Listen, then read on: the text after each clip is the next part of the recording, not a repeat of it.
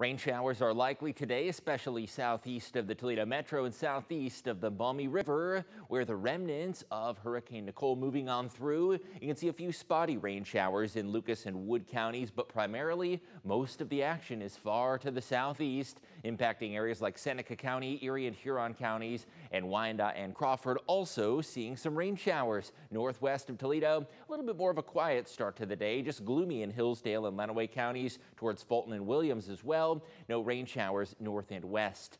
Zooming in on a few of the steadier, more soaking showers looking towards upper Sandusky. That yellow color shows you where the rain's coming down pretty good. And also a bit further to the north, right along the lakeshore, there is an area of steady rain up near Port Clinton and Sandusky, stretching down to Fremont into portions of eastern Seneca County, where the rain's coming down a little more steadily. As far as the Toledo Metro goes this afternoon, much of Lucas County has been dry, and it will stay that way other than a spotty sprinkle. South of the Maumee River, there are some showers stretching from Bowling Green over towards Grand Rapids and looking further to the east of Toledo. That is where the steadier shower action is from Oak Harbor back towards Fremont and Tiffin. Road conditions could still be a little wet and slow going at times. Here's just one example. Looking out at 475 at Airport Highway. Generally traffic moving smoothly this afternoon, but keep in mind wet roadways will be a little slower than usual.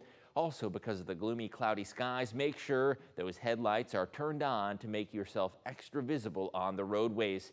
The remnants of Nicole are moving up into the Midwest. You can see that rotation around this system pulling in moisture from the Gulf and the Atlantic Ocean, and that is responsible for a good portion of rain for the eastern United States. Here is the latest on Nicole. Still has 30 mile an hour wind speeds. No longer a hurricane, no longer a tropical storm, just a low pressure system centered near Atlanta. It's going to move into the Ohio River Valley heading up towards Charleston. And again, producing a lot of moisture and a lot of rainfall for the eastern United States.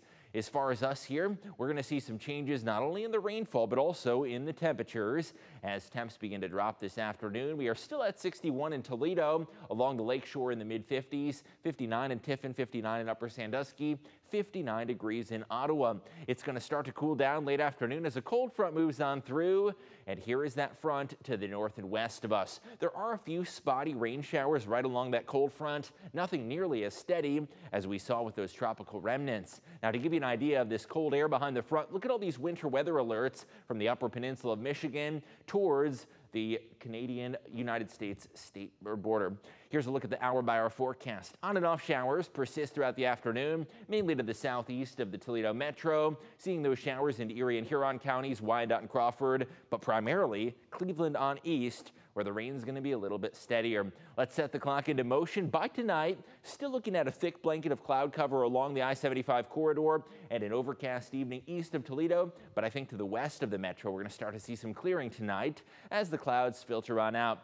By the time you wake up Saturday, it's going to be a lot more chilly outside. A couple rain and snow showers will be possible with a cooler breeze setting up shop. On and off snow flurries will be possible. That blue color, we haven't seen that in a while. Some spotty snow showers will be possible on Saturday with a cooler feeling weekend on deck. High temperature only making it up to 43 degrees Saturday. It is going to feel cooler than the thermometer suggests due to the wind. A couple on and off snow flurries will be possible. Not expecting any accumulation, but still a little brush with winter. And heading towards Sunday, a little more sunshine to look forward to still on the cooler side with a high of 40 degrees. You can stay tuned to WTOL 11 for that latest 10-day forecast and an update on the weekend. Again, if you want a dry day with sunshine, Sunday is going to be your pick day. Sunny weather continues Monday with our next weather disturbance arriving Tuesday into Wednesday. And both of those days could bring us a little bit of a light wintry mix with some rain and snow showers. A much cooler trend in that 10 day forecast with high temperatures barely hitting 40 degrees. And a lot of those days will be in the upper 30s towards the end of the 10 day forecast.